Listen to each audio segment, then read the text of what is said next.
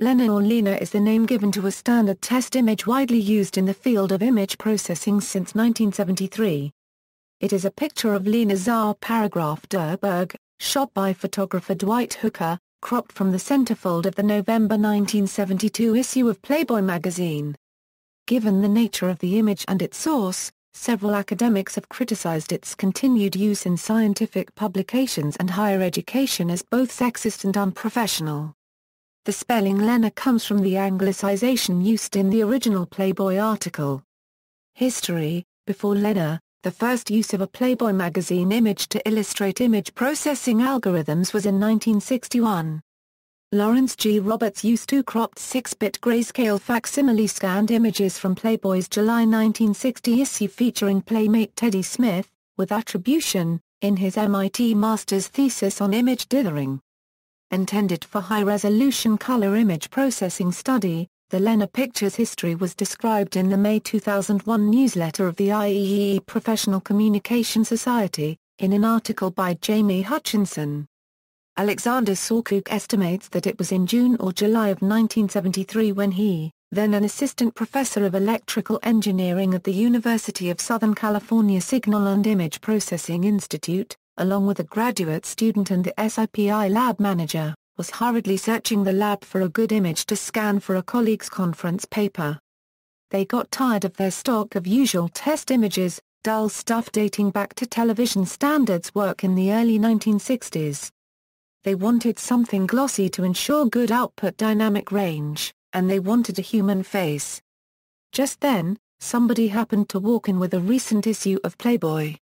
The engineers tore away the top third of the centerfold so they could wrap it around the drum of their Muirhead wire photo scanner, which they had outfitted with analog-to-digital converters and a Hewlett-Packard 2100 mini-computer.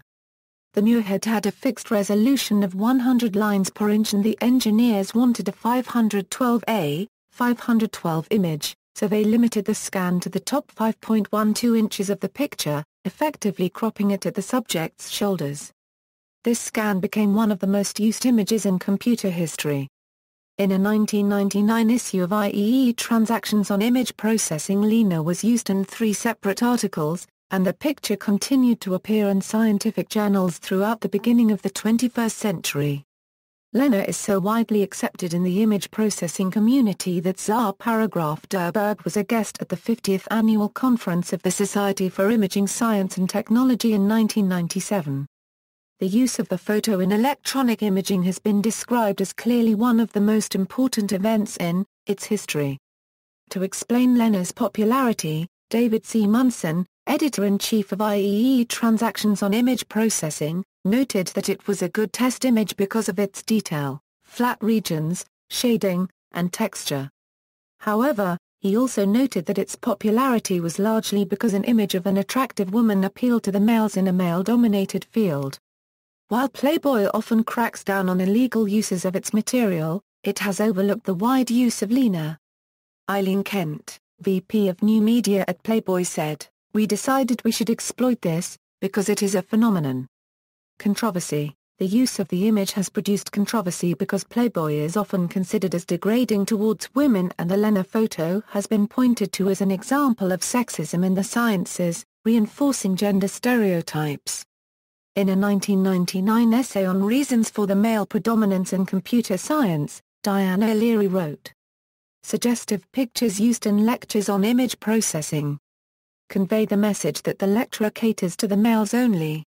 For example, it is amazing that the Lena pin-up image is still used as an example in courses and published as a test image in journals today.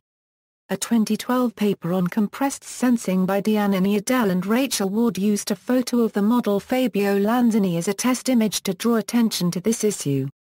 Remastering In September 2013 Jeff Seidman of the Society for Imaging Science and Technology worked with Playboy to rescan the image from the original negatives. Notes. References. External links, Lena 97, A Complete Story of Lena, The Lena Story contains a link to an uncropped scan of the original Playboy photograph.